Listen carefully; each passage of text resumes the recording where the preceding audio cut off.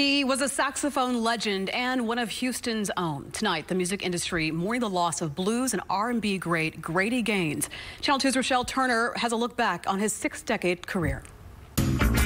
Grady Gaines and the Texas Upsetters were known for their authentic and soulful music.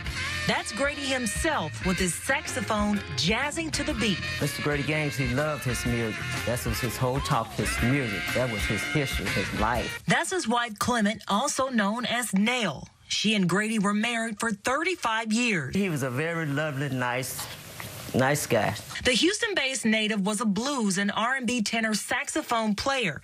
He and his younger brother Roy began playing music at a young age. His son Grady Gaines Jr. says he was always on the road. Traveling with um, musicians from all around all around the, the country. He performed and recorded with several people, including Sam Cooke, Little Richard, and James Brown. Susie Kreiner is the founding owner of Gulf Coast Entertainment and managed Grady's career. He had a huge, big sound in his horn, unlike anyone else. It was very distinctive. The Motown legend passed away on Friday at his home in Houston.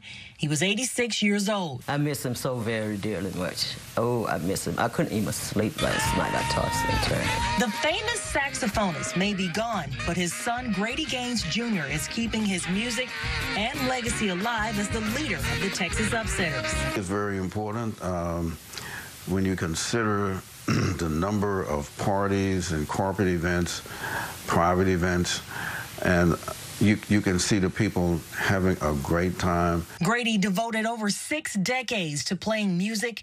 He released three albums and received countless awards and proclamations throughout his career told me once, I'm just I'm just an everyday person. He touched the lives of so many musicians and people. He will always be remembered.